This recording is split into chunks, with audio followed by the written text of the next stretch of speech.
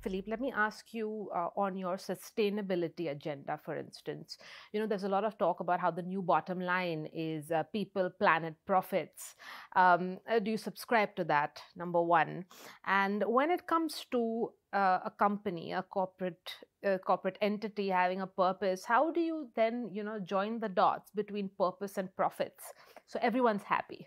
So let me start with an example of what we concretely do we have this winery uh, uh, of Chandon, uh, not very far from here in the north of, of, the, of the city.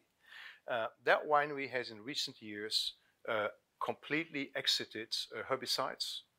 We are now deriving 60% of our electricity through solar power. We have just built a new facility to clean our water so that it can be reutilized. So we have really massively invested in sustainability. And that's true around the world we have a program, a worldwide program called Living Together, Living Soils, Living Together.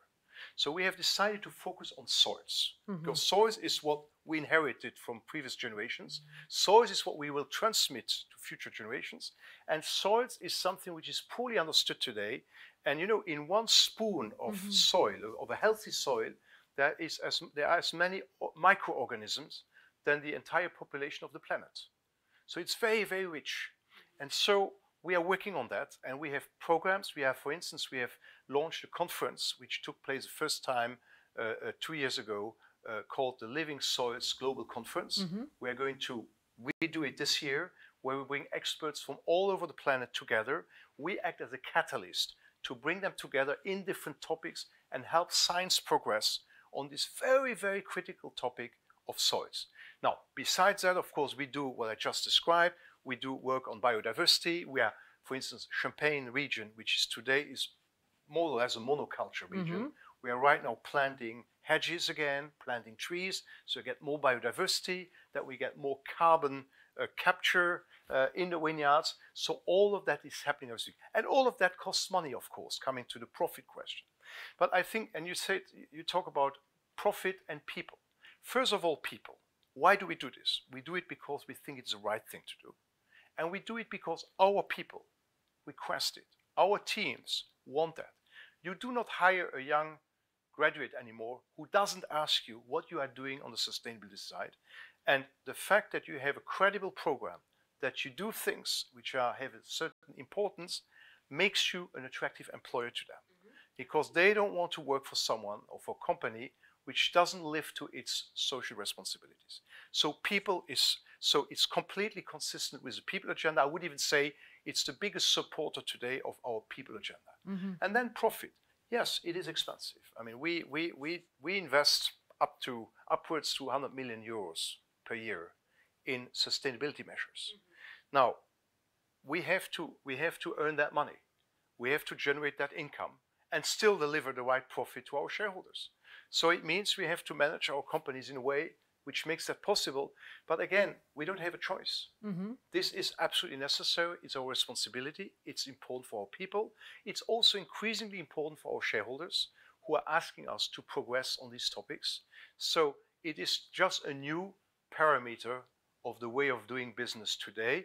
And I would say, in a way, it's in continuity to what our ancestors did who created these maisons 200 years ago, 300 years ago, and who did transmit them from generation to generation.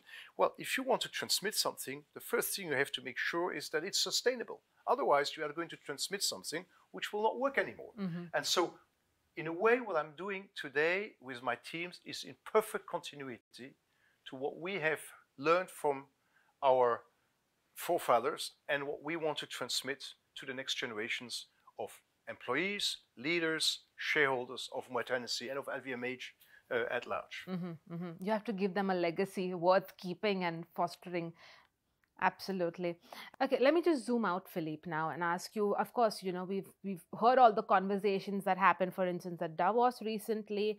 Um, you know, when it's so, what is your outlook? What's your business outlook going into? Now, we're already in 2024, but what is your outlook, uh, despite the economic challenges and headwinds? How are you seeing everything work out? I have to look at it from the internal side and then, of course, from the external side. If I look at it from the internal side, our brands are healthier than ever.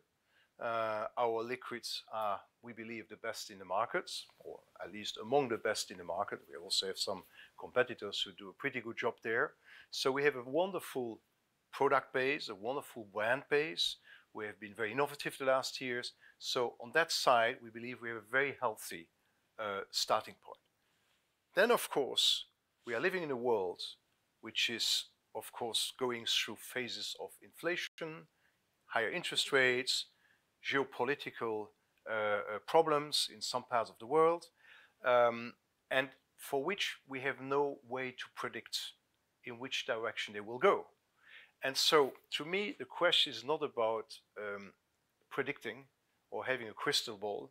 The question is how do you build an organization which has the agility to adapt fast to changing a changing environment. So it's about being agile, it's about being able to accelerate where you can accelerate, to slow down where you need to slow down, and do that relatively fast mm-hmm. because we cannot predict what the world will be in six months from now, but we can construct organizations which will adapt relatively fast to whatever happens in their environment. Mm-hmm the world could look very different in six months from now, given elections in, you know, key countries, global economies. Almost half like of India the population in the world will have elections, mm-hmm. some of which are very, very predictable, mm-hmm. and some of which are not so predictable. May I ask you which ones, according to you, are predictable? Well, I get some in some countries, um, elections uh, tend to uh, uh, confirm the uh, current uh, incumbent, and in other countries, uh, it can vary in a, in a, in a, in a brutal way uh, between one administration and the next one. So everything is possible. Mm-hmm, mm-hmm, absolutely. One last question, Philippe, before I let you go, and this is a bit personal as well. So it's very interesting because you you studied aerospace engineering, and then you went from that and you tried different things, and then you landed up in the alcohol beverage industry. Um, tell me a little bit about that journey. How has it been for you, and the transitions, and and why? I, I would say I would say that journey is driven by one um, character, personal characteristic, which is my curiosity. Um, I studied aerospace engineering because I was really curious about it. Then I wanted to go to finance. I wanted to see what is it to work in in finance industry. I went to J.P. Morgan. Then I thought I should be a consultant, you know, helping companies reorganize, uh, uh, doing marketing plans and all that. And then I moved to another sector, which was the tableware sector, which was selling porcelain and cutlery and things like that. And then I ended up uh, finally at LVMH, first Vuitton, then running a distribution company in Asia, and then now Moët Hennessy. So, what is the common red thread here is that I believe leadership is about giving a vision, it's about empowering people, it's about building teams which can be successful, it's about bringing into your team the capabilities which you need to be successful, regardless of your own capabilities. And that is constant in all these different fields. And then, of course, whenever you change to another category, I mean, in a way, you have you you, you start on a new learning curve. Mm-hmm. When I started in wine and spirits, my first thing I said I have to visit the vineyard. I had no idea how it works. I have to visit a winery.